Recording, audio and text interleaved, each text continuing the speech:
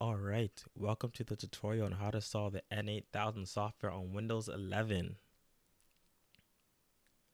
Before installing the software, there are some prerequisites you have to install first.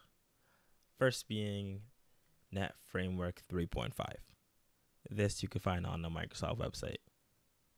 In my case, I already have it downloaded, but if you're unsure if you have it downloaded, you can download it anyways. In a case where you already have it downloaded, it just won't let you download anymore.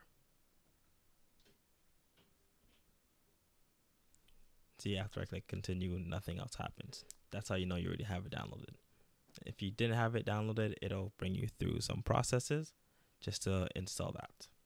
Next, when that's finished, we are going to move over to downloading the Microsoft SQL Server 2019 Express Edition, this being the most important part. In this case, you want to make sure your computer doesn't have any other SQLs on it, and you will, if so, you would have to remove so you would have to remove it.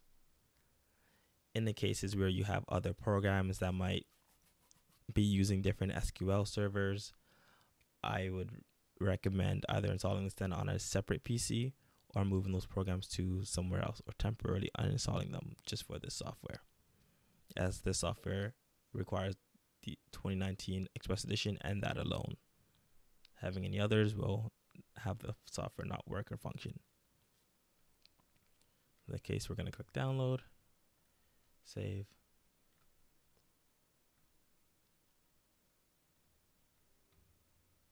Yes. We're going to download the basic. We don't need to do custom or download medium, just basic. Click accept, install.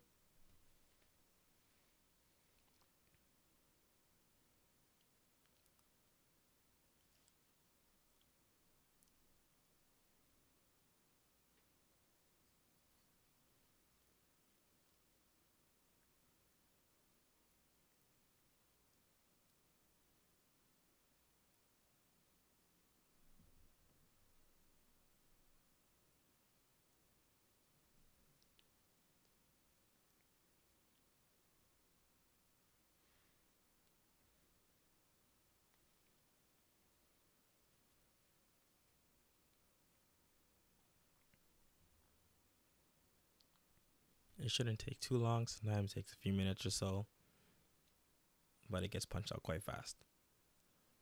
When you're finished, this is the screen you'll see. Installation successful. Great. Then you just put this to the side for now.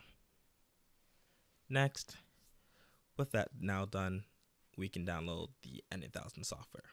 So if you go to the TOA Canada website, go scroll up to the top, under supported documents, you're going to see software. Click on that. Scroll all the way down till you see N8000 IP intercom. Software. That'll bring you to the data library. Here is where we can download the software now. When you scroll down, you will see software highlighted right here. We're gonna click on that, agree, and save. Once done, you are going to extract all of this. I already took the liberty and pre-extracted this. It should be about here.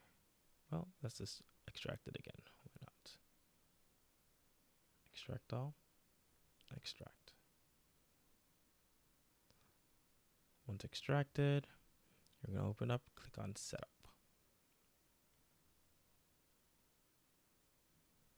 Again, it's going to take you through a few steps. Quite simple. We're going to click next, agree, next, default, next, next, and next. Hit yes and close. From there, we should see the icon there, but we're not done yet. Next, we are going to want to go into control panel, turn Windows features on and off. We'll look for NetFrame 3.5, hit that plus icon, have both of those highlighted, then hit OK.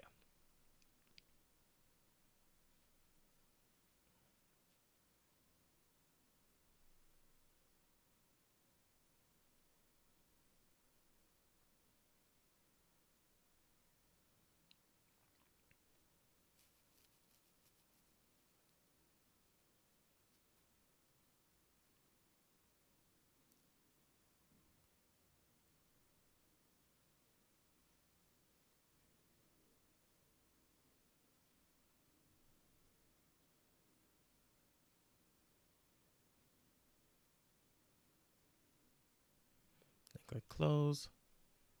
And then not done yet. There's one more thing we need to do. So if you go into file, your file explorer,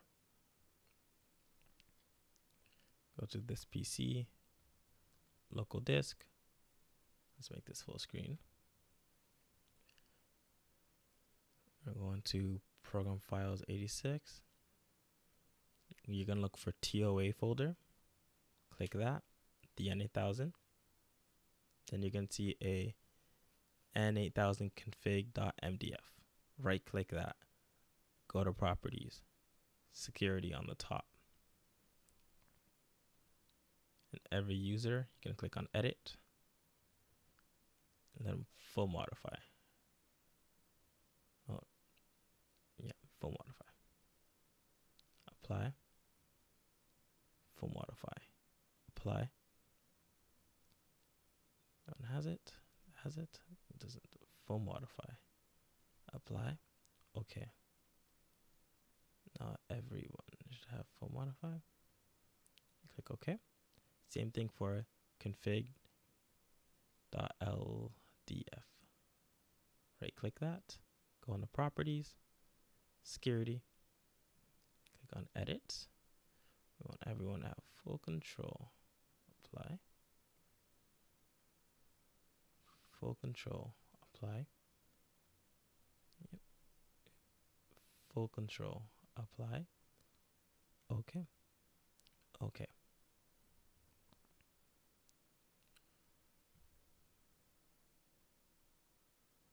I'm going to minimize this.